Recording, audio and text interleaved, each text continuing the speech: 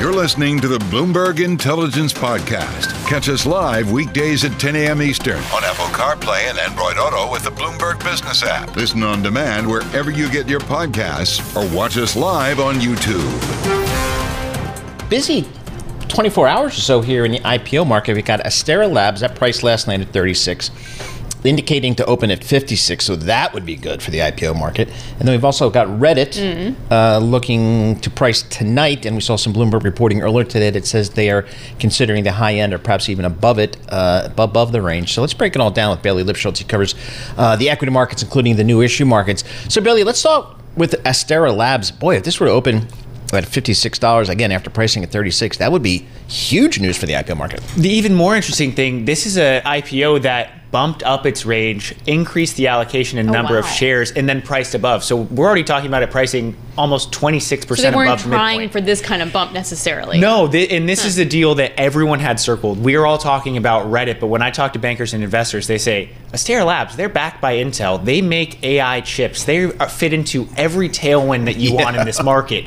That's the deal that you want to keep an eye on, and they're profitable but they don't do the weight loss thing. They're AI. They, okay. as far as I know, you know, but they're profitable, which begs the question: Is Reddit profitable? They are not. They've okay. been on the path to profitability, if you will. They talked up kind of the fact that they tightened spending, they have AI licensing, data licensing partnerships that really kind of bolstered numbers in 3Q, really 4Q of last year. But when you talk to investors and some of the skeptical analysts, the big question is it's almost two decades old. It's not profitable. It right. operates in social media, which has its own flurry of issues. You look at Snapchat and Pinterest, who are the two best comps publicly traded, those stocks aren't doing too well. But if it does price at the top of the range, that'd be a $6.4 billion valuation. So a sharp haircut from the 10 billion it raised at in 2021, but still maybe a bit of a green shoot. It does remind me quite a bit of the Instacart IPO in the fall of last year, which took a quote unquote down round, but right now is trading up about 23% from that IPO price despite some choppy aftermarket performance. So in Reddit, I also understand, in addition to the advertising component, which again we've seen before, as you mentioned, with Pinterest and, and, and others,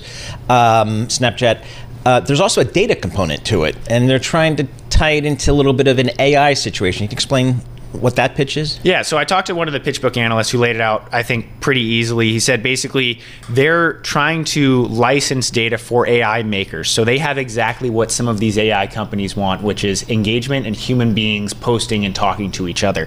He basically said, though, the question like is it's human still in being. the early stages. Well, exactly, yeah. human beings. And that's mm-hmm. one of the things I talked to a number of uh, Wall Street Bets moderators about whether or not they're buying into the IPO. They were very much divided, but the big question for them, the bull case for these believers of Reddit, these Redditors, is that as as of now, where we are in kind of the AI technology landscape, you need data, you need input, you need humans to create something.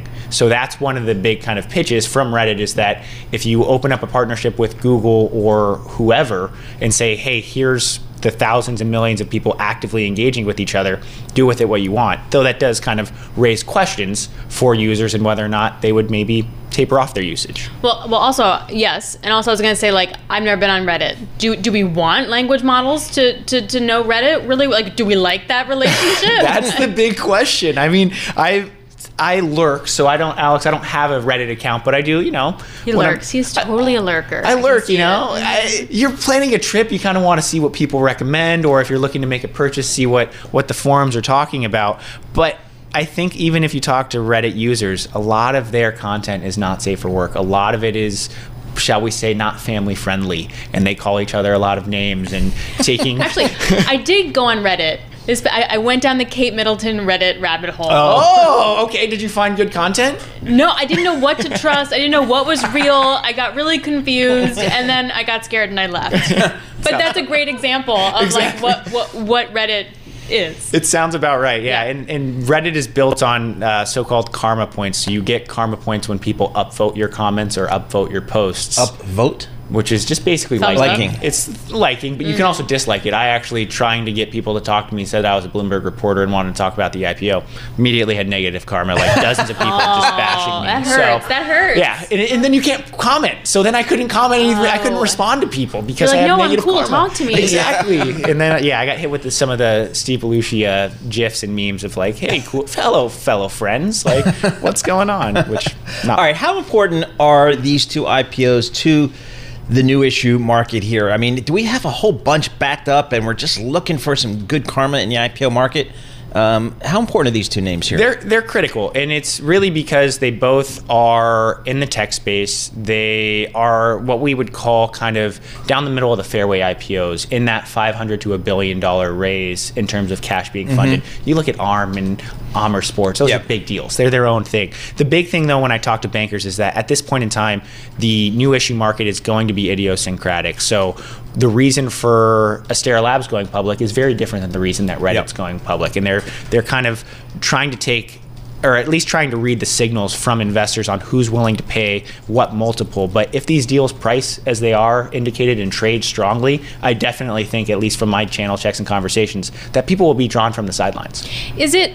Do you think that these companies, and I appreciate they're all different companies, do they need the money to go do stuff? Is it a commentary on wow, this market's awesome, let me get a piece of it, or is it we need investors need to cash out, or employees have shares and they need a vehicle? Like, what is the reasoning? A little bit of both. So you have in both cases insiders selling as part of the IPO, so trying to get some form of a return. But when you look at Astera Labs taking those proceeds and being able to kind of bolster on their operations, again to your point, they're riding the AI wave. So if you can have Jensen Huang is filming a video for your roadshow, that's going to get people excited. So why not go public now? Whereas Reddit again you look at the business, the evolution of the business on that path to profitability. It's been private. It's about 19 years old, so it's kind of due time for it to go public. Again, similar to Instacart. So they all kind of have their own reasons. But the big thing when you talk to investors and bankers, either profitability, path to profitability, or some form of unit economics, and that's been the big thing. And that's why we can see some of the more interesting names. I think potentially going public in the next few weeks and months. Uh, some of those names that have been in the pipeline but also some that just have good, strong fundamental businesses. I would think there'd be a lot of private equity sponsored deals that would like to come because we haven't seen a lot. Well, that was Amer Sports was essentially private equity, not necessarily. Bright Spring is just KKR back. That was a, a disaster of a deal and traded terribly. Um, that was at least when I talked to some investors and strategists was kind of they just needed to get it out the door. Yep. But to your point, when you when you're a private equity company, uh, a private equity firm, you're kind of looking to recycle and get that fund of flows. We've had the IPO market really frozen for a few years at this point, so it's really a question of will they kind of cave on valuation and meet investors where they are because a lot of those assets are big. They aren't necessarily growing, and you need to get someone to at least buy the IPO. Will they? Do you think they will? I don't know. I think again, it goes back to the whole case by case argument. Depends on that the company, The company. depends the, yeah, the, the big thing is when you look at your comps. So if you're again an Astera Labs, semiconductors, AI, perfect. Yep. If you're Reddit, a little bit tougher again because Mm-hmm. Snapchat, Pinterest, but you're pitching that AI um, kind of part of the business and also trying to get more tied to a meta platforms. All right, Bailey. Great stuff. Really, really great stuff. I'm, I'm, I'm amazed that you can be that excited about so many different companies going IPOing. Bailey Lipschultz, a Bloomberg News IPO reporter, joining us there. You're listening to the Bloomberg Intelligence Podcast. Catch us live weekdays at 10 a.m. Eastern on Apple CarPlay and Android Auto with the Bloomberg Business app. You can also listen live on Amazon Alexa from our flagship New York station. Just say, Alexa, play Bloomberg 1130. The other news item out there, in addition to the Fed, one of the key ones is just kind of in the chip business. Got a couple data points for you here today. Intel wins almost $20 billion in chips incentives for U.S. plants. That's good for Intel and the U.S. chip business. On the flip side, the U.S. weighs sanctioning Huawei's secretive Chinese chip network. Let's get the latest on kind of what's happening there. We're joined by Mackenzie Hawkins. Uh, she is a Bloomberg News U.S. industrial reporter. Mackenzie, thanks so much for joining us here. Let's start with Intel Hill here. I guess this is part of onshoring, you know, a lot of stuff on the U.S. soil, particularly on the chip side. Talk to us about this Intel story. Right. So today we saw the first preliminary term sheet for an advanced chip maker to come out of this broader U.S. effort to bring semiconductor manufacturing back to American soil. So Biden signed the CHIPS Act into law in August 2022. Companies have been waiting for you know, well over a year to see those funds start flowing out the door. They haven't actually flowed out the door yet. Intel's award today is just a preliminary agreement and it will be likely until the end of this year that they start to actually see money doled out in tranches. But this is a huge investment in, you know, the real leading American chip maker. And I mean, these chips will power, you know, the AI frenzy. Mm-hmm. They are the types of chips that go into nuclear missiles and hypersonics. Um, so this is a really significant investment for the company and for the states where they're building, um, including Arizona, Ohio, um, Oregon, and New Mexico. So, Mackenzie, pair this so okay I, I love covering energy so i'm really into the ira and like what, what we've seen a lot in the ira is everyone got super excited but then actually sort of putting shovels in the ground was a lot more difficult. So there's like yeah yeah we're to get the money it's to happen but it's not happening quite yet. How do we think this plays out from the chips act? Like when does intel put a shovel in the ground? What other companies are trying to put their shovels in the ground and get the funding and will it actually you know happen so Intel's already building these facilities. They've had a $20 billion Arizona expansion underway for some time. They're building multiple fabrication facilities there. Um, they're making some progress in Ohio, although there's been reporting that that's slightly delayed. We expect that construction to finish in 2026. Um, Intel's rivals, uh, Taiwan Semiconductor Manufacturing Company and Samsung out of South Korea, are also building plants in the U.S. Both of their sites have seen some delays that the companies and the Biden administration insist are in line with typical projections. Um, but time will tell on this one. It will be years before these facilities are stood up. The Commerce Department has set a goal that the U.S. will produce 20% of the world's advanced logic chips by the end of the decade. Currently, we're at about zero. Um, so that's a lot of progress to catch up on. Most of that production is happening in East Asia. Um, the companies announced their projects before they got the funding from the federal government, but it is certainly their expectation that they will receive that funding and they would like it to happen probably a little bit faster than it is. Hey, Mackenzie, how secure is this funding over time? Uh, I'm thinking about we may have a new administration uh, in 2025. How secure is this funding, in, particularly you know in the out years? Um, it, it's a great question. So today's announcement is a preliminary agreement. Um, then there's a due diligence stage, and then a final term sheet between Intel and the Commerce Department that will likely come closer to the time of the presidential election. And the Commerce Department is setting all types of benchmarks that Intel must meet for the money to be doled out over time. So it's not that they get the final agreement and then they get $8.5 billion in grants and $11 billion worth of loans and loan guarantees. They have to meet benchmarks related to production, related to workforce development, and there are all types of requirements that Biden's Commerce Department might set that mm-hmm. a potential Trump Commerce Department might not be as interested in. You've seen things like childcare facilities, which Intel and other companies have committed to, um, community development agreements, all those types of things. It's entirely possible that that could shift over time. But the reality is, once they've got the equipment in the building, these are you know machines that cost hundreds of millions of dollars.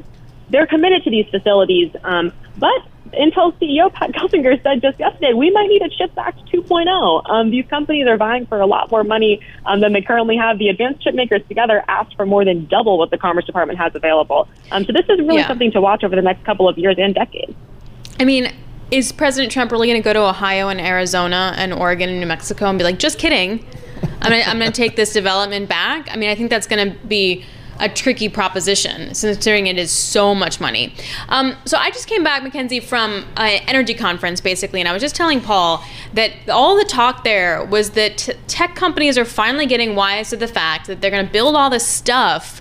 They need power, and that power isn't as easy to come by as they might have thought. Do you hear that at all on your industrial side? Like, hey, this is great, build all these data centers, Intel, but like, who's going to power? How are you going to get that power? What do you, what are you plugging in?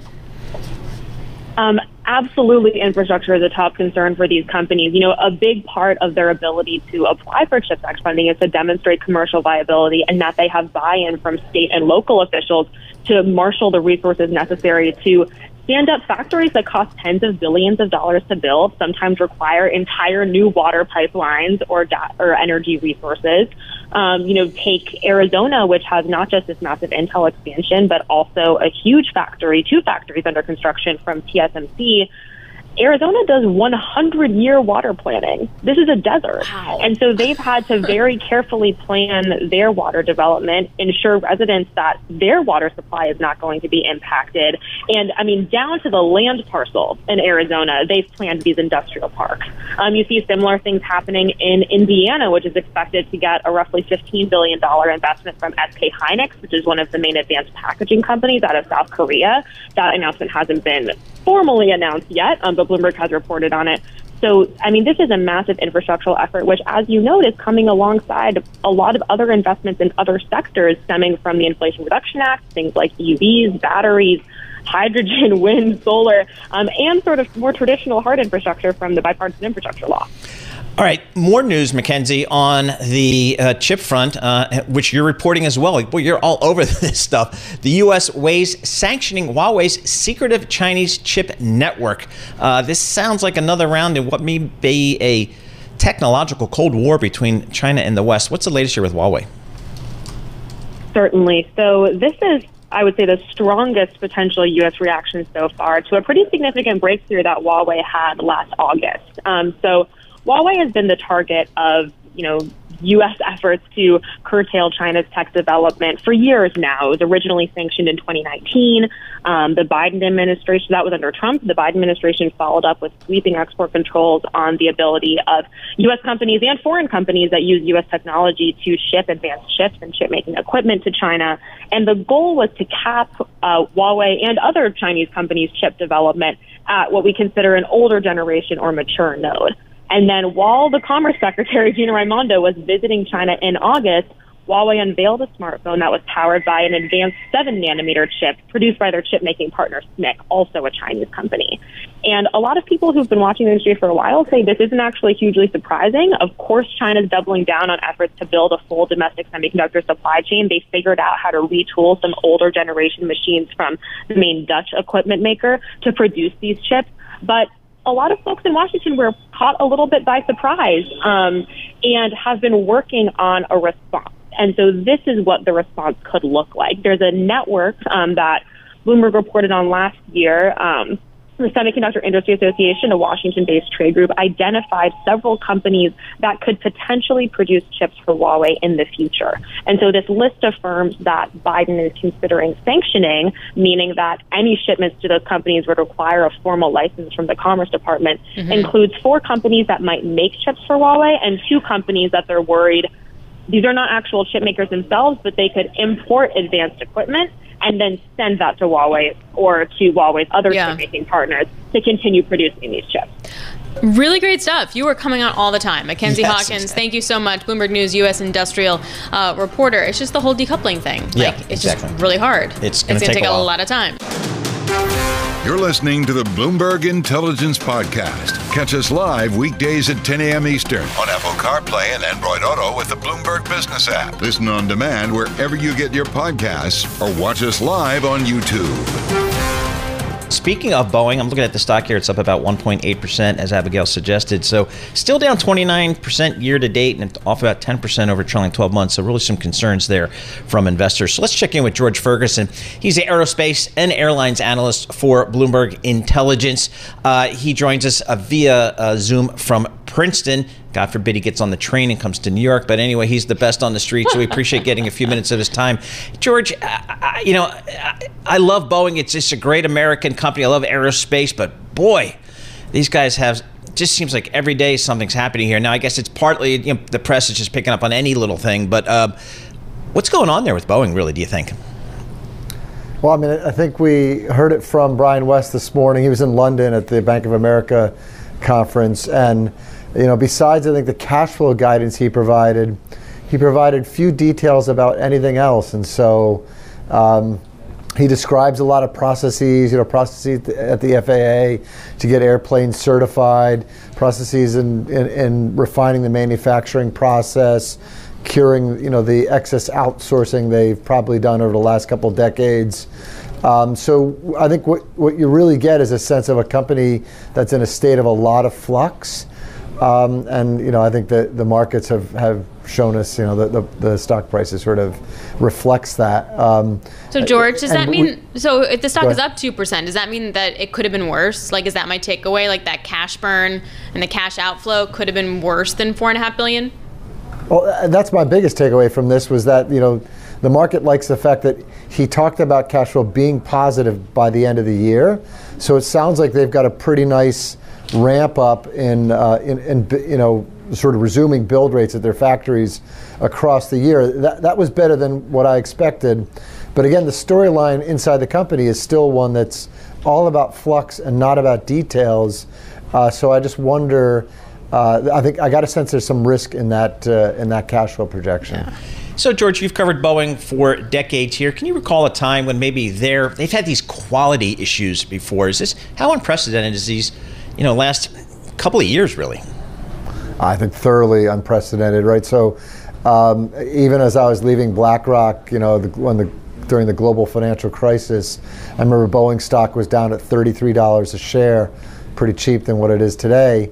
Um, but uh, the, the discussion then was just about like a defense portfolio, who products really weren't that modern um, you know, and, and a- angst about the company's future, but not these kind of problems uh, inside their manufacturing business, which is the core business of this company, right? It's an engineering and manufacturing company. If you can't manufacture things well in aerospace, that's a bad sign. So I, I don't think it's ever been this bad, ever. So just to recap, uh, today at a Bank of America conference in London, the CFO said the cash outflow is going to reach four to four and a half billion in the first quarter. Yeah. Um, analysts were looking for maybe five billion plus, and like you said, that maybe we'll get cash flow positive by the end of the year. That was the indication from Boeing. Do we believe? Okay, that's not the right question. How did they come up with this estimate? Like, what are the factors that go into this kind of estimate? That's exactly we, we don't know, right? And so some of the it's all about deliveries. It's all Okay. about deliveries of commercial airplanes. Uh, and so what I heard, you know, listening to it this morning was I heard what I thought was we're going to be at rate 38 by the end of the year, which is the rate they should have probably built at all year long. And then we'll move to the next higher rate. That's 38 a month, sorry, on the 737. And we'll move to the next higher rate when the FAA lets us. So we'll publish tomorrow on the Bloomberg terminal our view at Bloomberg Intelligence of what we think build rates were. I can tell you we have factored in a fourth quarter at rate 38. Um, but it sounds like quarter one's going to be a really rough quarter, so they'll have to pull a lot of things back together to get rate back to 38 by the end of the year. But I think it's. It, It feels like everything has to go right Yeah. for, for, for, for that to happen, Paul. And, and as we know, that never happens. That never happens. But uh, George, you've told us in the past, um, in the aerospace business, there is no, hey, we did a pretty good job on this plane. It has to be perfect every single uh, time, otherwise it's it's disastrous. And they've, from the their customers' perspective, George, if I'm a big buyer like a Southwest or a United. What am I saying to these guys? I mean, I, I fly thousands of these planes every single day in, in my fleet. What am I telling Boeing these days? Yeah, so you're watching very, very closely. Of course, you're telling Boeing that quality is job one, safety quality is job one. Uh, but if you're, especially if you're like a Southwest or a Ryanair, where you're a pure fleet, right? You you really can't afford your most important supplier to have problems like this. So uh, I think you're quietly coaching them to improve things, hoping for better. But you're probably biting your nails a little bit, right? Because if there's it continues to be serious problems, uh, you, you're not switching to Airbus, uh, you know, overnight. And I, I don't know that those people are considering it. I'm not saying that they are, uh, but you got to be concerned. You got to be watching very closely. Does the cash burn that they're looking at for the first quarter, would that, I guess the answer is no, but I'm just wondering if they wind up buying Spirit, wh- what that does to their cash burn. Like, they look optimistic about getting back to their ramp rate of 38 per month by the end of the year, but what if they buy Spirit? Doesn't that get worse? Doesn't their cash burn get worse? Well, I mean, so I, I guess to some degree, there's a, there's some things that end up getting hidden when you start buying Spirit, right? Because there's no, if Spirit's showing a loss because they're selling a fuselage to Boeing at a loss, you know, Boeing is getting some excess out of that. That whole thing washes out. Um, so you can't always say just because they're pulling Spirit in, it's going to be it's going to be a loss. It depends how they structure that whole thing too, right? If they hive off the Airbus businesses, we think some of those are loss making. That could make things better. I think it's I think it's really really uh, hard to tell, but for sure there'll be a lot of work down at Spirit to make sure they stabilize the production at Spirit, and that's not going to help cash burn either. But I'd assume Brian had that built into his his assumptions. George, let's uh, let's talk about the other half of your research coverage, which is the airlines themselves. Um, I just flew Newark to San, uh, Salt Lake City, 737 Max 8, fully packed to the gills both ways. What's how are the airlines doing these days? Yeah, so in one queue, I think a bunch of them are, are going to show losses. So they What? they're filling airplanes because I think the revenue managers never let airplanes go down the runway with almost you know being entirely full. Uh, but everything, what counts is you know the most is going to be the ticket prices. And you know when we looked at 4Q as we closed out of 4Q, the biggest challenge to, to the higher revenue that they were bringing in was all about these higher pilot salaries, right? They gave a bunch away to the pilots. And so while we're all paying more for the ticket, the pilot's getting more in the front seat. He, they probably deserve it. They work pretty hard. Um, I want and- my pilots so- to be happy. True story. you you do actually. So pr- profitability is still challenged compared to what we saw uh, last decade. I think fares would have to go even higher, and we've seen them softening a bit. This summer could be a little bit better for the airlines if you know if we have a bunch of Airbus A320s out of the market because of the geared turbofan problems. If Boeing deliveries are slowing down capacity gains in the marketplace. It could be a little bit better, but we're not looking at an environment where we think they're going to see 2019 levels of profitability, not 2019, you know, even last decade levels of profitability this summer. So I'd say profits still a little bit weak as the airlines recover. Uh, I think there might be just too much capacity in the marketplace to get them they're back cutting, they right? last decade. Like, didn't JetBlue announce they're going to cut capacity? They're getting out of certain markets and stuff. Like, I mean, it feels like the capacity cuts are underway. There's a lot of discussion at the airlines about how to optimize schedules to, pr- to try to improve fares. Uh, like I said, uh, airlines like JetBlue, Spirit, pushing back some of their uh, new deliveries as they manage balance sheets a little better and think about you know their their financial health. Uh, I, I wouldn't say that all signals are rosy inside that market. I think they're, especially on the low cost budget side, I think there's probably too much seat capacity in the in the in the budget world, uh, and and folks have to think about how they could fix that in order to get better fares and improve profitability. I have a question. Why do some of my business class tickets I have sometimes I have a TV on the back and sometimes I don't, and it gets really confusing. Uh, why is this, George? You know, um, it's all about how you know the airplane they're using, how it's been outfitted. Sometimes it's a, it's about on length of haul and, and how important the market is. Right? I've had overnight flights that come out of out of San Diego where I can't even get a lie flat seat on, and I'm in business class. You come out of LA, you get a lie flat seat because competition's a lot more intense in it. It depends about competition in those marketplaces. It's about airlines using older equipment. But there is even a school uh, out there that says, why bother putting a screen behind any seat anymore? Because everybody gets on the airplane with an iPad or an iPhone. We'll stream them their content, save all those electronics behind the seat, save all that weight. Maybe it's a better world. Sounds like you vote no. yeah, exactly. I That's mean, a good point. Yeah, you- but you it's just still- not consistent, so it makes me scratch my head. So going to Houston, I've been back back Yeah. and forth in the last couple weeks. TV, super nice yards. plane, Yep. All good. Coming back both times, I'm like, oh, okay, this is an old plane, isn't it? And like, you don't have a TV. And so you it's blame like- George Ferguson. I, I see what's happening. I here. mean, right? George Ferguson, thank you very much. You can go back to work here. George Ferguson, Aerospace Airlines Annals. You're listening to the Bloomberg Intelligence Podcast. Catch us live weekdays at 10 a.m. Eastern on Apple CarPlay and Android Auto with the Bloomberg Business app. You can also listen live on Amazon Alexa from our flagship New York station. Just say, Alexa, play Bloomberg 1130. Looking at the shares of Kering, uh, that's the owner of a bunch of luxury good manufacturers, most notably uh, Gucci. And if you're looking for a good book and a good movie, The House of Gucci uh, is awesome. Uh, and it really gives you a good sense of what's happening there in that world. But boy, the stock's down 13% here today. Uh, I need to figure out why. So I go to one person, one person only. That's Deb Aitken. She's a senior retail analyst at Bloomberg Intelligence, uh, covering the luxury space amongst others. Uh, but I think her real f- uh, forte is the luxury space. Got a really good sense of what's going on out there at Bloomberg Intelligence in London. So, Deb, uh, Kering, this is a big company. It's got a $45 billion market cap stock, but it's really taking it on the chin today. What did the company uh, announce, and, and, and what's going on with our friends at Gucci? Right. Hi. Uh, so it was a prelim um, on the Q1. Uh, uh, in the knowledge that uh, Gucci was uh, by far weaker than the market had expected, uh, particularly out of Asia. So the idea here. Um, they guided 10% for Kering overall in the 1Q. Uh, this whole um, group will start reporting mid April. And then for Gucci in particular, they expect it to be down um, around 20%. Wow. Now, um, what that does, Gucci into these numbers was 50% of sales and a much higher contributor to profitability and cash flow. Uh, we already know that the whole sector is up against uh, very high comps, uh, okay. including, uh, but, but not actually Gucci, because we know that it's been going through almost two years of transition.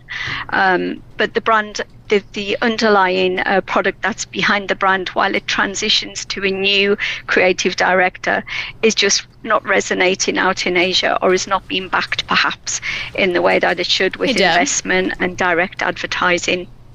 Deb, how much of it is also that Gucci in some ways I appreciate it's not cheap, but it became like an aspirational thing for young people and if that's the area of consumer that's also getting hit, like it's not Hermes, right? Like it's not like insane high end. They're trying to be sort of cooler. They're trying to get that aspirational buyer. Is that a mistake? So the, the idea actually with Gucci is that that's where they ended up um, after three years of 30 to 40 percent of of sales um, and into so many categories and their brand. Um, it reminds me of something that happened a few years ago also with Burberry. So their brand became more of a fashion um, focus brand.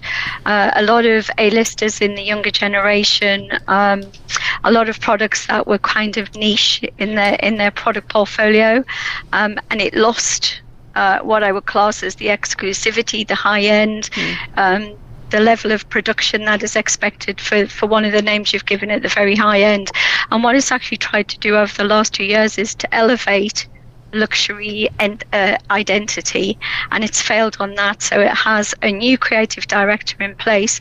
Products are just in from mid-February, but only in ready to wear, which is 15% of the business there, and it needs the rest of the year to roll that out. And in the meantime, particularly in Asia, um, it's very much a wholesale backed market where those wholesale accounts aren't willing to take the risk on inventory which could become very quickly obsolete from the prior uh, creative director and separately where the new creative director is not yet tested. So, uh, Deb, I know from talking to you in the past and reading your research, the Asian uh, consumer is so key. The Asian market is so key, uh, particularly China.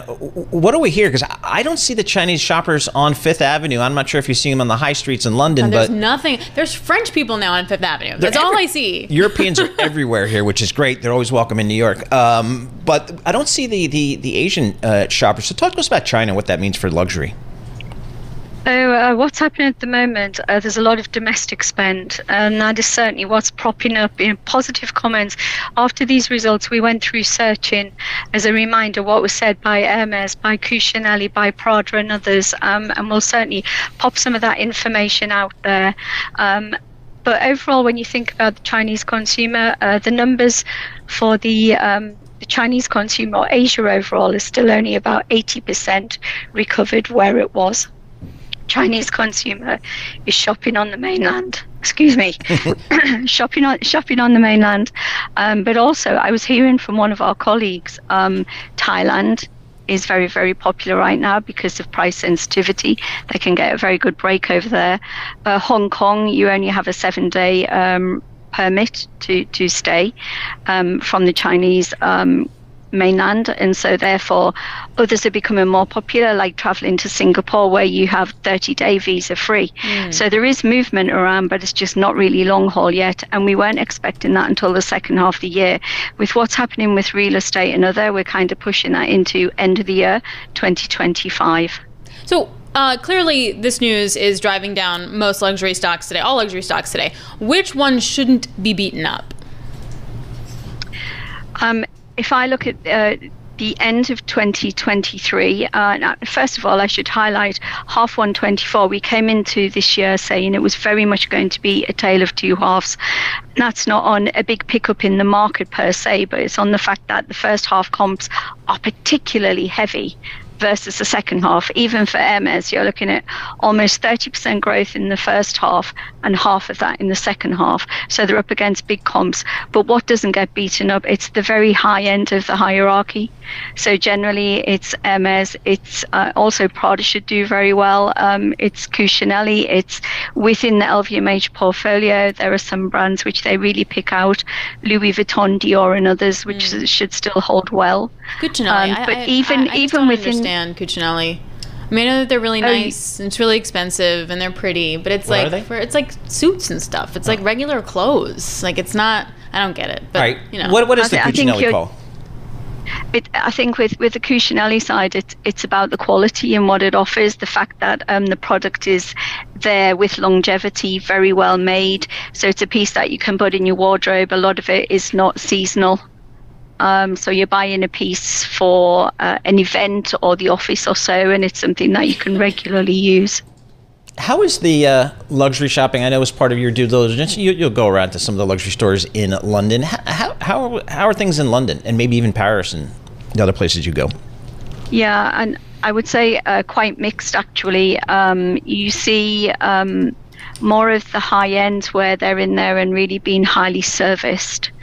Um, and not so many not so many bags on the high street. Uh, we are still seeing um, decent numbers in terms of e-commerce growth.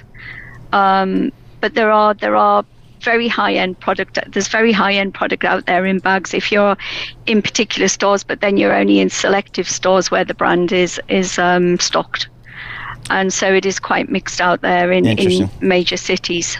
Okay, Deb, thanks so much for joining us. As always, Deb Aitken, she covers all the retailers, including the luxury names um, for Bloomberg Intelligence uh, based in London. Again, Kering Stock, uh, owner of several luxury brands, including Gucci, uh, down about 13% here today. This is the Bloomberg Intelligence Podcast, available on Apple, Spotify, and anywhere else you get your podcasts. Listen live each weekday, 10 a.m. to noon Eastern, on Bloomberg.com, the iHeartRadio app, TuneIn, and the Bloomberg Business app. You can also watch us live every weekday on YouTube and always on the Bloomberg Terminal.